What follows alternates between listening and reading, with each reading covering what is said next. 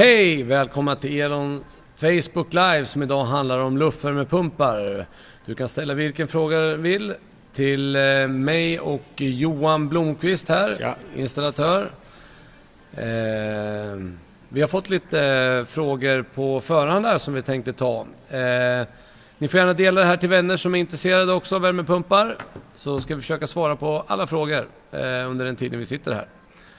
Eh, några frågor vi har fått in på förhand är eh, från Leif bland annat. Hej, jag ska installera en värmepump i ett nybyggt uterum med isolerad platta och treglas isolerfönster. Uterummet är 18 kvadratmeter. Hur stor luftvärmepump ska jag ha? Ja Leif, det behövs inte vara så jättestor men det är faktiskt ganska svårt att få tag på pumpar som är så mycket mindre än 4,5 kilowatt. Eh, och vi rekommenderar också Johan, ett, kanske ett stödelement, även Ja. fast det kanske inte behövs. Men utifall det skulle behövas vid eventuell avfrostning eh, så rekommenderar vi det. Men från 4,5 kilowatt, eh, för då klarar den ju ända ner till 20-25. Absolut, och det Minus. är inga problem. Eh, så hoppas Leif är nöjd med vårt svar där. Ja, jag känner mig nöjd med det. Ja, bra. Sen har vi eh, Helen, en kort eh, fråga eh, här. Hur mycket kan man bygga in uteenheten? Ja, det kanske Johan ska svara på Ja, man kan väl bygga in det. Det finns ju färdiga eh, själva byggsatser man kan bygga in. Man ska väl inte bygga för mycket på grund av luftflödet man vill ha. Både från sidorna och framåt och tillbaka. Så. finns färdiga att köpa som Rickard de säljer som är väldigt bra. Ja. Rekommenderar jag. Om man nu väljer att eh, bygga in Ja. den. Och väljer man att bygga in den så spar ganska mycket så att det blir ett fritt luftflöde. Man får inte bygga in den för mycket alltså. Det. Men det kan ni bara komma in så ska vi visa vad som finns. Eh. Sen har vi Torbjörn här. Han eh, är inne, är inne på att komplettera sin stora värmepump som har cirka 6 kW med en mindre och då utnyttja framdragen el, en säkring på 13 ampere. Inget annat anslutet. Är det okej att göra så? Eh, från Torbjörn då. Och då säger vi nej. Nej. Man ska ha en separat säkring för varje pump. Ja, för att säkerställa att det verkligen ska hålla och fungera Ja. som det ska. Och för elsäkerheten i huset. Ja. Så det är vårt råd till Torbjörn. Nej. Nej, precis. Ehm, sen har vi Bertil som undrar, jag undrar om ni gör hembesök för att, eh, att se om planlösningen är lämplig för en luftvärmepump, om det, om det är köptvång. Eh, det är absolut inget köptvång om vi gör ett hembesök. Däremot så kan jag säga att det här kan ju givetvis variera lite grann på, från olika butiker i olika eh, delar av landet. Hembesök tror jag faktiskt de flesta Elon-butikerna gör. Vi har ju vårt säte här i Eskilstuna då. Eh, men det är absolut inget köptvång vid ett hembesök. Om man kanske inte åker 30 mil innan upp i Norrland, det vet vi inte. Om, Nej men oftast då eh, åker vi ut och tittar på dem kunden vill och sen får de bestämma sig i lugn och ro. Det är väl det smidigaste. Ja, Ja. det är väl enklast. Så hoppas Bertil är nöjd med det svaret. Vill säga.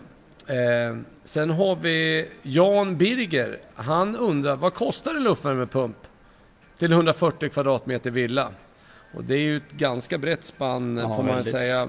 Eh, vi kanske rekommenderar i alla fall en värmepump på 6 kilowatt och Ja. uppåt. Mellan 6 och 7. Och de startar väl ungefär på 18,5 med en standardmontering efter rot som vi har här då. Eh, och går väl upp till eh, 25, 26 och finns väl ännu värre modeller också men däromkring hamnar man. Så vi säger mellan 18,5 och 25 000. Ja, då får de bra pump som fungerar för ändamålet. Ja. Så att... ehm, Så hoppas Jan Birger är nöjd med det och kanske kommer in och handlar den. Man vet aldrig. Ehm, vad har vi mer här? Fritidshus, 59 kvadratmeter med väldigt, väldigt trångt upp till tak. Höjd och längd på er minsta luftvärmepump. Vänliga hälsningar Birgitta Hellström. Ja Birgitta, det är väl San, eller förlåt, det är Fuji, den här Fuji. ROG 09. Den är Ja. 26,8 hög och är väl ungefär 80 cm Ja. bred. 80, ru- cirka 80 cm bred. Men det är den lägsta. Vi rekommenderar att man har cirka eh, 4-5 Ja, centimeter. 4-5 centimeter upp till meter ja, Det är väl det optimala i alla fall. så att man får in... Eh, Lite luft eh, ska vi se här om vi fått in några frågor i chatten också. Här ska vi se. Jag måste få ner den här. Så här då. Hur får vi ner den här då? Borde inte det här komma här? Jag får inte upp den här i chatten här. Ska vi se här. Är det jag som är... Jag har lika bra koll på datorer som jag har på luftvärmepumpar. Vi har bättre koll på luftvärmepumpar än vad vi har på datorer i alla fall, det kan jag säga. Jag köpte på min skärm här. Ja. Vi kan ta mens, eh, mens vi håller på här eh, med våra tekniska problem, kan vi kalla det. Eh, kan vi ta en eh, fråga till? Eh, Hej, vi har ett nybyggt garage på 56 kvadratmeter som vill ha värme. Eh, vad ska vi tänka på så det inte drar för mycket el? Ja, det beror ju egentligen på hur varmt man vill ha i garaget. Alltså, de flesta pumparna idag som vi säljer har ju faktiskt en underhållsvärmesfunktion eh, på 10 grader och eh, det är ju någonting att rekommendera om man vill kanske hålla ner kostnaden lite grann i garaget. Däremot så vet jag inte hur stor skillnad det blir eftersom den när man kör den avfrostningen så går ju det på direktverkande el på Precis. utomhusenheten. Så skillnaden mellan 18 grader och 10 är inte så himla Nej, stor på inte, en... inte jättestort är det Nej. inte. Men, men det billigaste är väl att köpa 10 graders funktioner men jag vet, det är nog svårt att säga exakt för det beror nu lite på isolering och så i garaget och Ja. hur, hur mycket.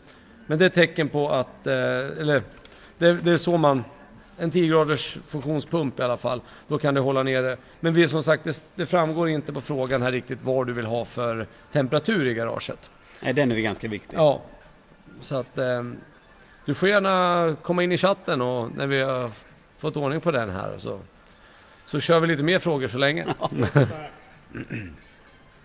Här har vi eh, och här har vi fått då ett, ett så, eh, hur stort hus ska det vara för att tjäna på det? Om man har bergvärmepump så snart måste bytas, är luftvärmepump ett bra alternativ eller ska man fortsätta med bergvärme? Finns golvmodeller också. Vad gör om pumpen slutar gå mitt i vintern? Ja, det är ju, det är ju, alltså ett, en luftvärmepump är ju en komplementsvärme egentligen till ett, för folk med direktel och Ja, kanske även med el. Fjärrvärme. ska Fjärrvärme man- till viss ja. del får man väl säga. Alltså skillnaden på en bergvärmepump är ju det att den värmer ju även varmvattnet. Ja. Ehm, besparingen på värmen kanske inte är direkt mer, kanske lite. Nej, det är bara att det blir en dyr kostnad. Du ska köpa en ny pump, självklart. Ja, Men att- i det stora hela så skulle jag nog fortsätta med bergvärme. Ja, du, man får ju garanterat en bättre spridning om du kanske har golvvärme eller redan radiatorer eh, som sitter på plats. Så, så, och du sparar ju mer pengar på, på varmvattnet. Eh, men hur stort ska ett hus vara? Jag skulle vilja säga att alla som har direktverkande el eh, sparar pengar med en luftvärmepump. Absolut, ja det gör de. Ja. Ja, Man brukar, ja, man brukar väl säga, beroende på hustyp då, men ungefär halva eluppvärmningskostnaden. Ja, det, är- det är ungefär vad jag gör hemma. Ja, ja, det är samma här. Jag har Mm. Två stycken på mitt hus. Jag har, ben, jag har tre. Ja, du har tre. Ja. Han är ju montör. Ja. Så att, ehm, ja, vad har vi mer här? Det här har vi en fråga här. Ehm, Jag funderar på att skaffa luftvärmepump till sängkammaren för att eh, kunna hålla svalt på sommaren. Vi bor i en enplansvilla strax norr om Stockholm som nu värms upp med frånluftsvärmepumpen som fungerar utmärkt. Eh, är luftvärmepump lämplig för att kontrollera temperaturen i sängkammaren på sommaren? Vilka al- alternativ kan man tänka sig? Eh, och sen är frågan också, är det ekonomiskt att köra en sådan luftvärmepump resten av året för att värma rummet? Det är ju svårt. Har du ett från, frånluftsvärmesystem så skulle jag ju inte köpa en luftvärmepump bara för ett rum. Men absolut för att kyla. För att kyla ner ett rum. För att kyla ner ett rum. Bra alternativ. Ja. Ehm, för de som inte vet det så går ju alla luftvärmepumpar att eh, backköra och köra på kyla. Mm. Eh, så att, eh, däremot så är det ju betydligt lättare att sprida värmen än att sprida kylan. Ja det är det ju. Den sjunker mycket snabbare. Ja. Så att det är ju någonting att tänka på. Vi har fått in lite mer, någon mer fråga i chatten. Finns golvmodeller också? Eh, nej, ska vi se. Har jag nytta av värmepumpen i oisolerat fritidshus? Fritidshuset är på 125 kvadratmeter. Vi är bara i huset från maj till och med oktober. Eh, ja, om du vill ha varmt i huset under eh, maj till oktober så har du absolut nytta av den. Vi vet ju inte riktigt hur du värmer idag, så har du element som du värmer med så är det ju absolut ett alternativ. Dock så blir det alltid sämre om man har ett oisolerat hus oavsett vilken värmekälla du än värmer upp huset med. Eh, men, men, det så, kommer, bli, kommer ju värmas upp, absolut. Ja, ja det ja, är inga problem. Nej, absolut. Man kanske får ta till en lite starkare modell om det är oisolerat. Eh, så att säga då. Men absolut, från maj till oktober så har du en väldigt hög verkningsgrad också ja. på pumpen. Så att det, det ser jag absolut inte som ett eh, problem. Sen får du bonusen i kylan på sommaren ja. också. Så jag ser. Eh, vi hade ju också en fråga om, finns det golvmodeller också? Ja, det finns golvmodeller som man sätter på. De är dock inte lika vanliga. Nej, det är de inte. Men de är väldigt, jag tycker om dem. De är väldigt mm. effektiva. Framförallt mm. de ska sprida värmen. Mm. Så eftersom du får värmen ut, blåser ut redan på, ner på golvet. Sen mm. höjer vi upp den mot mm. taket. Mm. Dock lite dyrare. Ja, de blir lite dyrare. Det är lite mindre serie på dem. Så att det, blir, det, det blir, men det är dock en lika bra pump.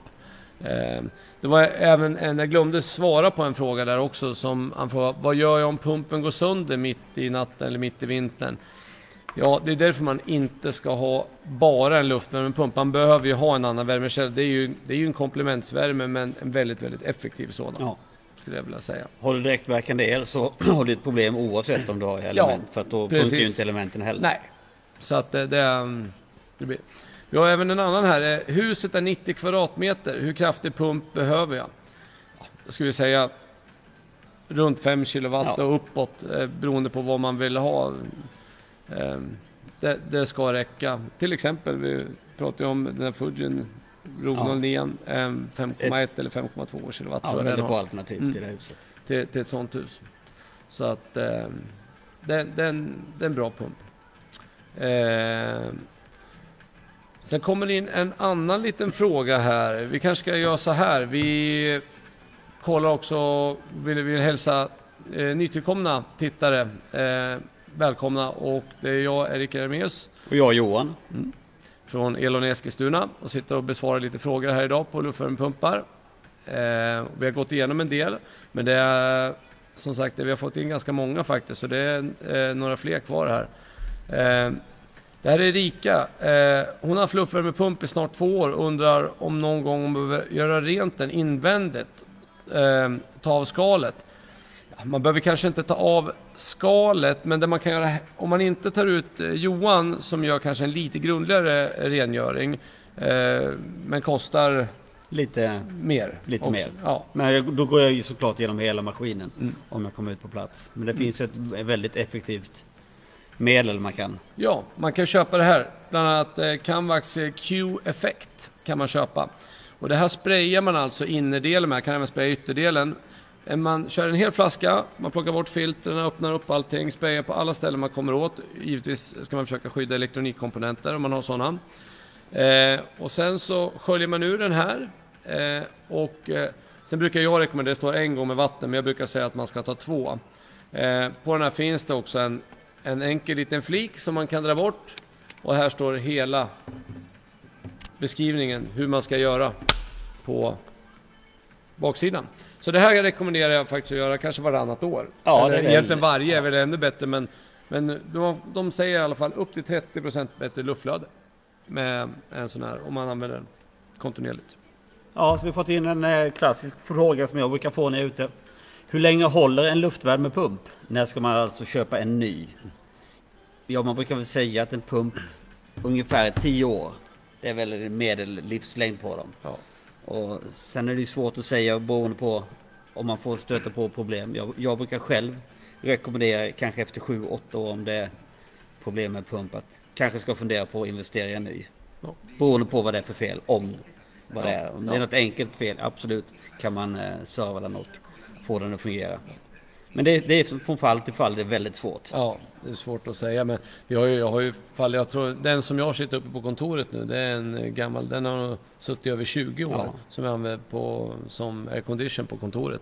Så att det, det är ju det är väldigt spridda Absolut. Men det är ju också som vi pratade om den här, gör man rent med en sån här lite ganska ofta så att det inte sätter igen med damm på inomhusdelen så håller ju pumpen längre. För det är ofta sånt som kan att sköter man inte om grejerna så håller de ju kortare tid. Här har du fått en lång. Här har jag fått den. Eh, trött på att bära pellets och inne på en luftvärmepump, men kan man få hem någon från er som kan kolla om det är ekonomiskt försvarbart och få ett ärligt svar om det? Verkli, eh, verkligen kommer värma huset under vintern utan att behöva dra igång pelletspannan. 90 kvadratmeter från 50-talet, två våningar plus källare. Ja, det är alltså två våningar plus källare. Ska man inte behöva köra någon pellets eller någonting annat, då måste man ju nästan ha tre. Ja, det är förutsättningen. Ja. Jag måste framförallt se huset för det ja, är väldigt och, svårt. och givetvis kan du få ut någon. Nu vet ju inte, det framgår tyvärr inte här eh, vart du bor någonstans. Eh, får inte jag fram. Men jag skulle råda dig till att kontakta din närmsta elhandlare så är jag fullständigt övertygad om att eh, de kommer ut och kollar på det där åt dig. Och vi har många kunder som absolut byter pellets mot luftvärmepump. Eh, det är absolut inget fel på pellets heller, men det här är väldigt smi- smidigt och eh, sp- sprider värmen väldigt bra. Så att, eh, det, det är många även som går från ved. Alltså Ja, använder det här som att det är ett komplement också. Så att, det finns ju luftvärmepumpar idag som har den här brasfunktionen. Ja. Som eh, slår av utomhusenheten när det blir rätt temperatur och bara använder fläktläget för att föra runt den luften som, eh, som är uppvärmd. Ja, det fungerar väldigt bra. Ja, Det så att ehm, det, finns, det finns också. Eh, vi ska se om vi har någon mer eh, fråga här. Vi ska försöka hinna gå igenom alla.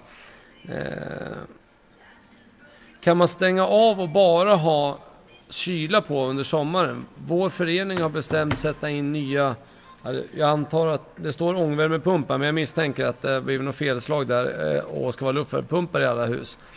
Eh, absolut, och är det bara kylan ni är ute efter så kan ni ju bara köpa rena kyl, Ja. kylaggregat också. De är oftast lite billigare än eh, en luftvärmepump. Men det skiljer inte så mycket eftersom det, det, du får oftast lite bättre effekt om du, om du tar en, en kombinerad luftvärmepump. De har oftast med lite högre effekt. Om man sen inte, kommer man ju ofta på framåt ja, vintern att man vill ha lite värme också Ja. och då är, precis. kan det vara bra. Så det, det är våran rekommendation. Så att, eh, har du någon fråga Johan som du brukar få svara på när du är ute och monterar så här som du kan komma på någon vanlig? Det är väl klassiskt det med placeringen Ja, såklart. Mm. Om man ska sitta ovanför dörr eller öppen planlösning. Jag brukar säga det, det är från, det är såklart det är från hus till hus. Det är väldigt, eh, det finns ju inte en fråga som, nej, som alla, alla, alla, alla hus är olika. Men absolut det vanligaste är att sätta dem framförallt ovanför entrédörren. Mm, ja, Och, och ibland så får man då, när det kommer bra nya maskiner som, som klarar av att bygga in det då. ja. Som Men det är väl egentligen den vanligaste frågan och sen eh, hur långt man kan dra rördragningen. Ja, Och vi brukar säga standardinstallation har vi 5 meter. Men upp till 15 meter sen måste man nästan extra fylla maskinerna. extra fylla maskinerna med gas va? Och då börjar det kosta lite mer pengar såklart. Ja. Och det blir ju även oftast, det är ju tillägg då för Ja. extra rörförlängningar och det kostar ju lite pengar då. Men det ingår ju både kanalplast och, och rör och, och arbete i det då så att säga. Så att... ehm, det, Ja, det står helt still. för Jag får väldigt många frågor men just nu Mm. ja. kommer jag inte på en enda. Nej. Mer än den. Nej, bara för att vi är live. Ja, jag är så nervös. Nu har vi fått en fråga till då. Fråga ett, jag vet inte vem det är från men... Vad står det? Om jag stänger av all värme vintertid Från Margareta. på Margareta. Margareta, hej Margareta. Vi har vattenburen värme. Bör vi ha värmepumpen på då? Huset ligger vid havet, Hanöbukten och här är fuktigt, rått och kallt på vintern och väldigt varmt på sommaren på grund av oisolering. Eh, Eh, Vatt, ja, alltså du kan, du kan absolut, du bör ju ha värmepumpen på om du, alltså Det beror ju på hur kallt det blir inne i huset. Ja så du precis, får, eh, så du frysa vill ju inte... Ja, så att eh, antar att du vill ha plusgrader i huset och då... Har du, eh, är du väldigt oisolerat och du får in i kyla så då kan du få problem med. Att du får frysa sönder rör exempelvis. Så då kanske man bör ha den på. Ja, om, men samtidigt i ett sånt här fall så vi rekommenderar ju inte att man bara har en luftvärmepump exempelvis i ett fritidshus. Du behöver ju ha ett annat element som stöttar upp för att det in, man vet aldrig, det kan gå sönder, givetvis en luftvärmepump. Eh, och det kan även bli så att om det strular någonting med avfrostningen. Så vi rekommenderar alltid Mm. att vi man har element på runt 5 grader inställda i alla fall. Och de går ju bara på om, om de absolut måste, så de går ju Precis. bara i nödfall. Men det, det är inte ett komplett värmesystem att köpa en luftvärmepump. Nej. Som man tänker på det. Så har en fråga till då. Vissa pumpar kan vara anslutna till wifi. Vad kan det vara användbart till? Väldigt mycket, framförallt om man har en sommarstuga. Ja, Många vill kanske höja upp värmen när man åker ut Ja. en torsdag, fredag kväll och ja. kyligt. Och det är väl Sätta på den dagen innan. Ja. Man, man åker dit som att, så att det är varmt och skönt när man kommer. Du kan ju även gå in och titta så, om du och, får några larm och Ja. det är, om den Ja. fungerar. Och, och se någon temperatur. Har man den i, inte i ett fritidshus så kanske det är av mindre värde men, men det är oftast till fritidshus som, eh, som vill ha eh, med wifi. Liksom. Vad är det här? Vi ska se. Eh,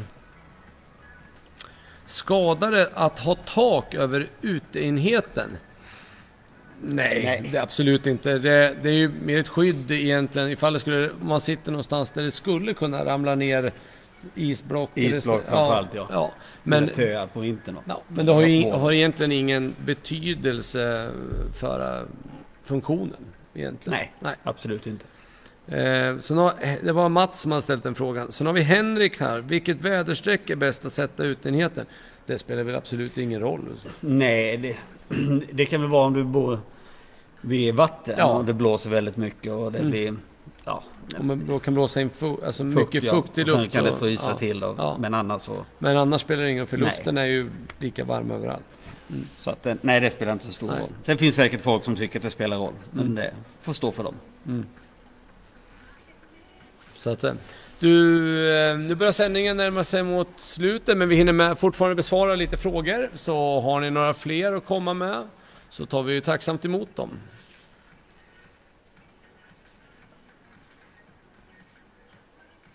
Vi besvarar ganska många frågor. tycker jag. Ja, jag tycker vi har gått igenom Det eh, det, mesta. Och folk undrar det. Jag menar, det finns, jag brukar säga, det finns ju aldrig några dumma frågor egentligen. Nej, det gör absolut inte och alla har ju olika... Kanske kommer en nu då. Det kan, man inte. vet inte, man vet aldrig. Är från Bengt där. Ja. Är en värmepump känslig för strömavbrott? Har hus på Gotland och drabbas ideligen av att strömmen går. Nej, det är det väl inte. Inte mer än någon annan elektrisk produkt Nej, det egentligen. tycker jag- nej. nej. Det, det, det vill jag inte säga. Jag har aldrig haft några problem. Inte på grund av att Nej, nej. proppen har gått om man säger, eller att den Nej. slutar fungera. Däremot det kan väl vara om det blir, skulle vara ett blixtnedslag och så om Absolut. man ligger i slutet av en åskledare då är det klart att det kan ju säkert bränna något kort om man har, Men ett vanligt strömavbrott, det, Nej. nej. är inte något märkvärdigt. ska inte vara några problem. Tror jag.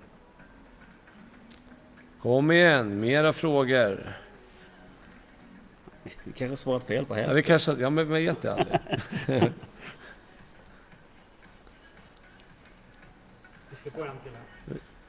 Kommer tydligen en till här. Men som sagt, vi har gått igenom ganska många och eh, jag hoppas folk är nöjda med svaren också. Eh, Det är väldigt svårt att svara på vissa frågor. Ja. Så man behöver kanske se ja, hur det ser ut. Och, ja, men vi gör så gott vi kan. ja.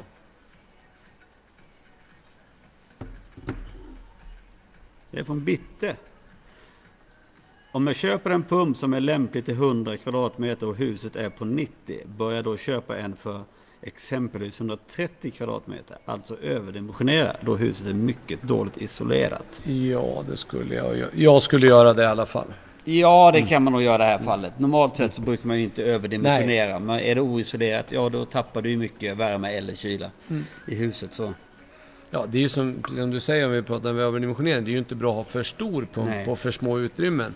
Eh, för då slår ju pumpen av. av och Alltså, på, av och på, korta ja. pauser. Ja. Det gör att pumpen blir, slits. Ja, Lite Precis. snabbare. Ja, så man ska ju anpassa till storleken på huset. Men som sagt, är det ett stort värmebortfall i med dålig isolering så är det ju bättre kanske kliva upp eh, ett snäpp. Och skillnaden i pris kan man ju säga mellan kanske att köpa en på 5 kW och en på 6, 6,5 är ju inte så stor. Nej, det är markant. nej, nej. Så att, men vi rekommenderar alltid att anpassa efter husets behov. Det gör vi.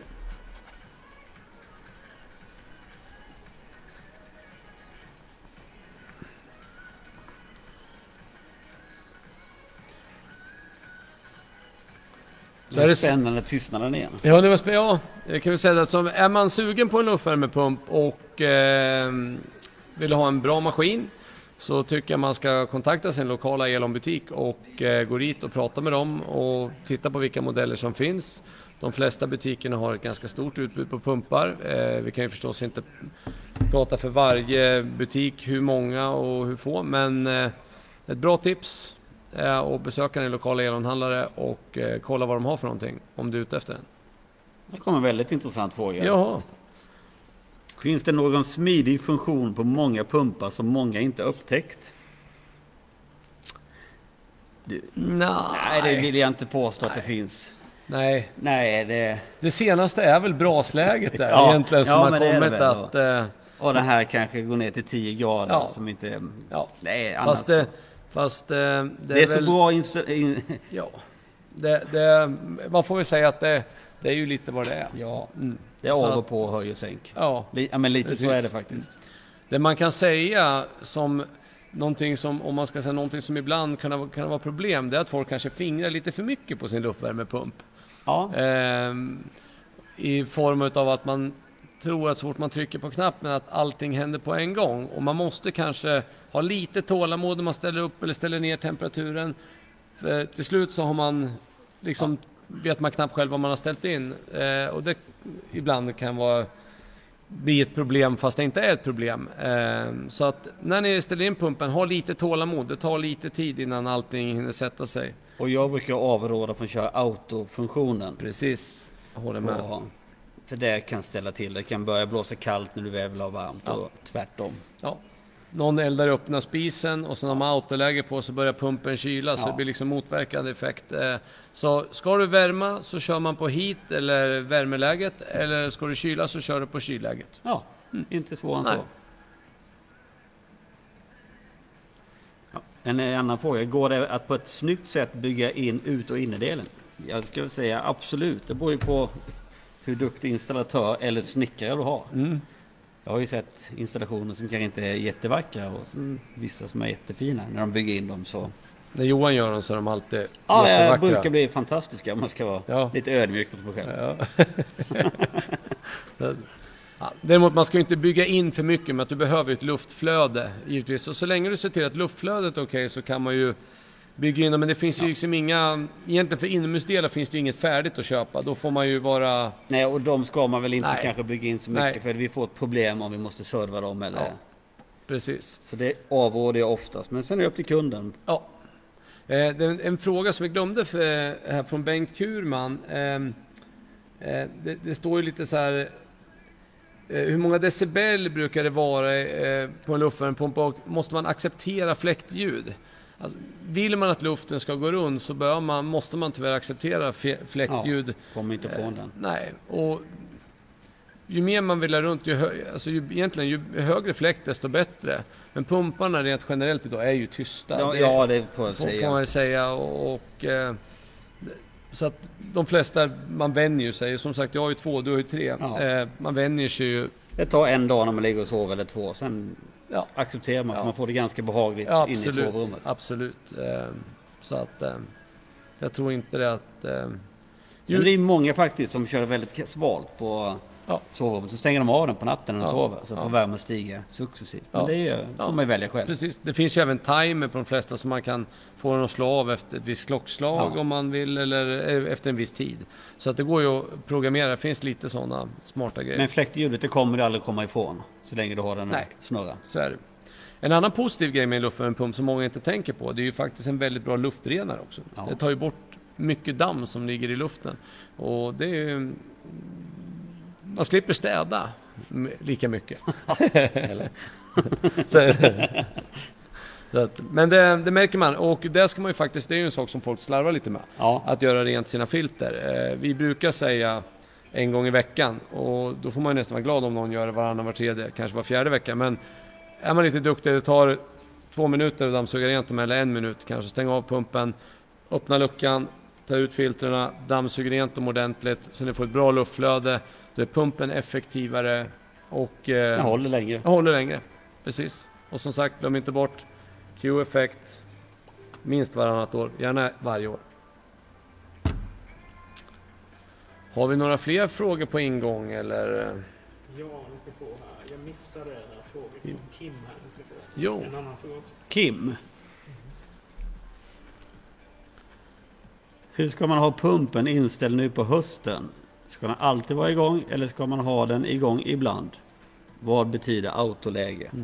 Eh, autoläget var precis det Johan sa, då kan du ju både kyla och värma beroende på temperatur.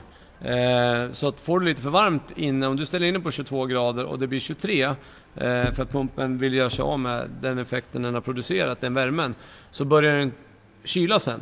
Eh, och då får du lite motverkande effekt. Sen när den har kyligt lite och det blir för kallt, då börjar den värma. Eh, Så att autoläge tycker vi inte man ska köra utan antingen väljer man att ha varm. Ställer du in den på 22 grader så försöker den hålla 22 grader. Och stänga av och på den, det, nej. Det, det, det kostar nästan mer att hålla Kan på. låta den gå istället. Ja, det är bättre att låta den gå. Eh, Så det var, var vår rekommendation i alla fall. Eh, Ska jag säga. Jag har en fråga till. ja, Kim, en fråga till. Finns det en pump som sprider värmen åt sidorna? Hur stor pump bör man ha till ett hus på 165 kvadrat, en och en halv planshus? Åt sidorna? Ja, det, det, du kan ju få eh, luftflödet gå åt sidorna, men det går inte åt sidorna där Nej, uppe. på- Utan du, du, du kan ju få, eh, vad heter den? Fläktvingen och, och gå i sidled. Ja. Ja. Men inte åt sidorna, nej det Nej. finns inte vad jag har sett. Nej, inte, inte jag heller. Och det är en och en halv planshus, 165 kvadrat. Det är ju som sagt, man ska ju givetvis sätta den på nedervåning eftersom värme stiger. Men sen beror det lite på ventilationen i huset, Ja. hur mycket värme du får upp. Det är därför jag har två. Eh, jag har 85 plus 85. Eh, och jag behöver ha två för jag får ett lock i trappan på grund av att ventilationen suger inte upp värmen som den ska. Så att, eh, men en... Det sex- måste man nästan åka ut och titta. Ja. Det kan vara så att du behöver två pumpar Ja, istället ja. för en. Så att säga. Sen kan man ju få ta, om man vill ha en, så sätter man en där nere, sen får man upp där man får upp det Ja. helt enkelt. Och, men jag skulle tippa, ja, en, mellan 6 och 7 kilowatts pump. Eh, jag vet ju inte, en och en halv, är det 120 plus 45 eller? Det är lite svårt. Man, du skulle kanske behöva någon som går in och frågar den lokala butik, eh, alternativt ta ut någon, kanske på besök och, och titta. Det, det är vårt råd va? Ja. Mm. Ett bra råd. Oh, tack, tack, tack. Ska vi ta sista frågan också innan ni... Sista frågan. Sista frågan. Oj då. Han, han log här mot oss. Vad är det där? Kan man ha utedelen under altanen? Altanen är byggd med brädor med luft emellan och stort luftutrymme under. Och då skulle jag säga absolut. Mm. Som du, om det ser ut som du har skrivit här så är det nog inga problem alls. Nej. Det, det är ganska vanligt att folk sätter dem under trapp Ja, eller ja. altan. För att många tycker att de är ganska, kanske inte jätte, jättefina. Mm. Men eh, så absolut, inga problem. Så, det var allt för idag. Jag hoppas eh, vi har bidragit med något och eh, gjort några lite klokare. Några oklokare. Ja, det, Ja, vet, men- man, det vet man aldrig. Nej men det var väl trevligt det här. Det var supertrevligt. Jag hoppas eh, ni besöker er lokala butik och eh, kollar vad de har att erbjuda. Så vi har en fortsatt trevlig kväll. För det ska vi ha. Det ska vi ha. Tack så mycket från oss. Tack så ni ha. Ska vi stänga av också? Det tycker jag vi ska göra.